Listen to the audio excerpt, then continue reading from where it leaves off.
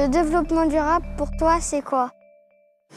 Euh, La responsabilité qu'a chacun euh, de faire au mieux pour la planète. Comment, comment on peut agir pour protéger un peu la planète? Aux énergies renouvelables euh, telles que enfin, l'eau, le soleil. euh, Le développement durable, c'est justement des petites, des petites actions euh, qui, qui, groupées, permettront euh, aux gens d'avancer dans la même direction, on va dire. Il faudrait deux, deux, pla- deux planètes pour, pour que la, la Terre euh, accepte toute nos- notre consommation. faut, faut entretenir l'eau, la planète. C'est normal qu'on prenne soin de la terre de nos ancêtres pour justement la protéger pour nos enfants plus tard.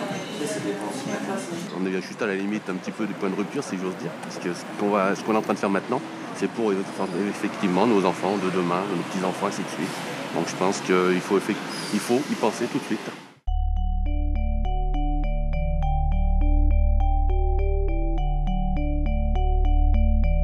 À la maison, au travail, quels sont les petits gestes que tu peux faire qui se rapprochent du développement durable?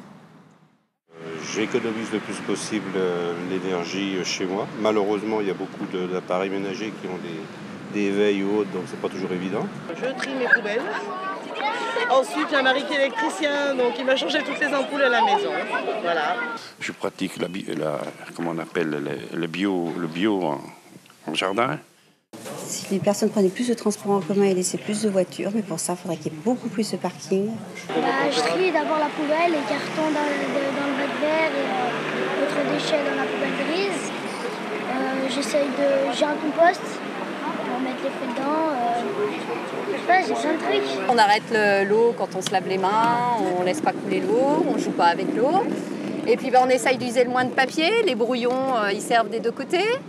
Euh, voilà, des petites choses comme ça. Puis on prend les vélos euh, maintenant qui sont grands et qui peuvent le faire euh, pour aller chercher le pain. On y va à pied. Euh, nous, dans le concept du magasin, il y, a, il y a une grande partie qui est issue du terreau. Nous, on essaye de fonctionner justement avec une entreprise qui fait son terreau euh, de façon biologique, en utilisant des, euh, des produits qui, euh, issus de l'agriculture biologique et, qui, et, du, et du retraitement. Des matières premières aussi qui viennent de très loin des fois, des surveillées. Je prends l'exemple concret, on a du beurre qui vient d'Allemagne, donc ça on va, on va le bannir.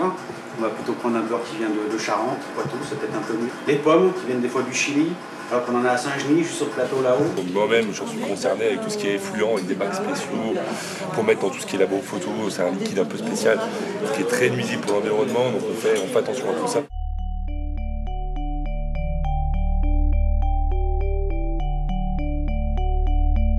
Euh, Si tu avais une baguette magique, qu'est-ce que tu aimerais voir à Saint-Genis-Aval?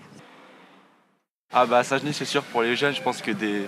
Peut-être pas une discothèque, parce que c'est pas une ville assez euh, étendue pour ça, mais des petits bars ou des trucs dans le genre. Il y a des, comme il y a des immeubles, certains immeubles qui sont pas euh, extra. D'un coup de baguette magique, je voudrais que tout soit, euh, soit nickel. C'est bah, plus d'aide à l'emploi, une aide aussi euh, une aide pour le logement pour les étudiants. Sinon, autrement, la ville en elle-même, euh, moi je l'aime bien, j'ai toujours habité là, donc voilà. Le métro à Saint-Gilles-Laval, ça, ça limiterait les. ça supprimerait les bus. Déjà, je ferais une piscine et un city-stade. C'est quoi un city-stade Bah, c'est comme un mini terrain de foot. Tous les transports en commun euh, utilisant l'électricité? Dans le monde du Nord, moins de maisons et à la place mettre euh, plein d'arbres, plein de plantes.